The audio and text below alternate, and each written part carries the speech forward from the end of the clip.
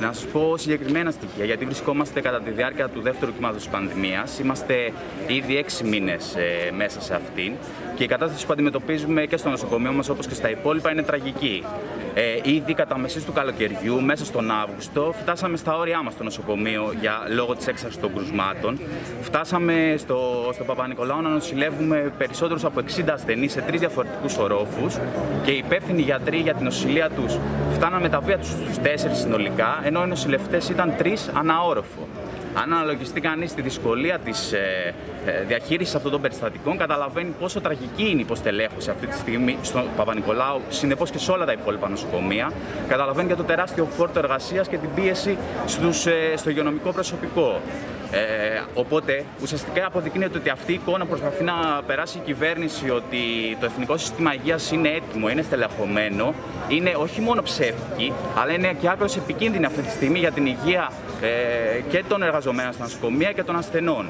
Ε, αυτό αποδεικνύεται ακόμα παραπάνω, άμα σκεφτούμε κανείς ότι σύμφωνα με τα στοιχεία της Ένωσης Νοσοκομιακών Γιατρών πριν από την πανδημία, τα κενά που υπήρχαν σε θέσεις ειδικευμένων και ειδικευόμενων γιατρών στα νοσοκομεία της πόλης μας φτάνανε και ξεπερνούσαν το 30% σε πολλές περιπτώσεις.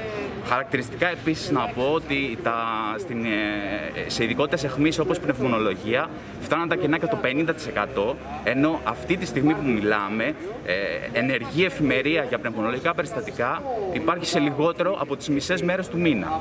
Και δείχνει τέλος πάντων το γεγονός ότι τι σημαίνει σήμερα υποβάθμιση των υπηρεσιών υγείας.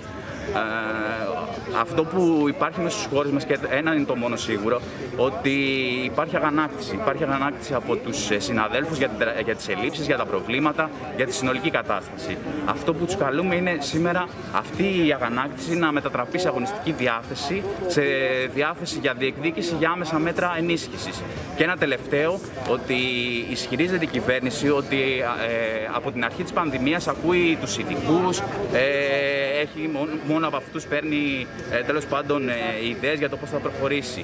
Στην τελική, να σας ρωτήσω κάτι. Εμείς που δουλεύουμε μέσα στα νοσοκομεία, δεν είμαστε ειδικοί; Δεν ε, είμαστε μόνο για τη λάτζα; Νομίζω ότι τα αιτήματα της Ομοσπονδίας και της Ένωσης Νοσοκομιακών Γιατρών για άμεση ενίσχυση του δημοσίου συστήματος υγείας, αυτά πρέπει να ικανοποιηθούν για να μπορούμε να μιλάμε για, για την ικανοποίηση των ε, αναγκών υγείας του λαού.